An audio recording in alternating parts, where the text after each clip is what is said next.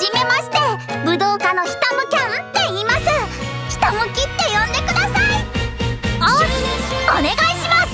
武道家は体そのものが武器ですので己の身一つで全てを守り抜きます。